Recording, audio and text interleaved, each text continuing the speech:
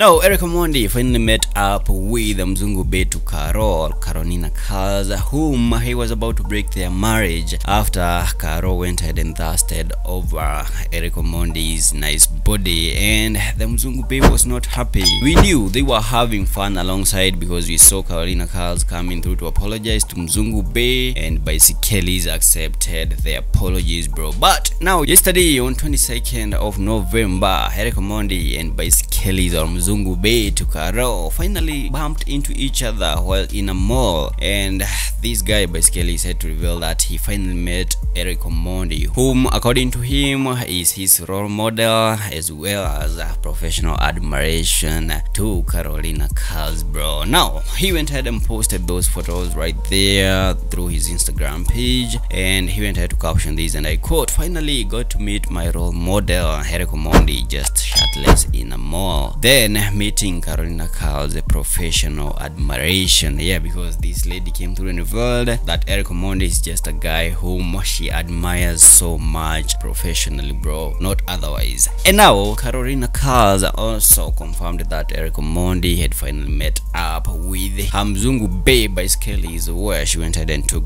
that photo right there as you can see on her Instagram page and she went ahead to caption this and I quote do you wanna get served with chocolate or vanilla ice cream Eric Omondi or Baiskelis abs also can you guess the short conversation they had after bumping into or onto each other at the mall? The laughing emojis hashtag professional admiration hashtag it's never that serious which we all know it's not that serious. Also she talked about the experience of meeting Eric Omondi you know with the Herbie where she said this and I quote met Eric first at the supermarket when we saw each other. We broke into a laughter. It was funny and a good coincidence. He mentioned he was shooting upstairs so when Troy came later on I had to introduce him to Eric so he can physically see him and know who he is bro. Wow. That must be so awkward. But again what do you guys think their short conversation was about? As Karina Calz came through and revealed well go ahead and tell us down in the comment section. Subscribe if you haven't. Follow me on Instagram blissguy.ke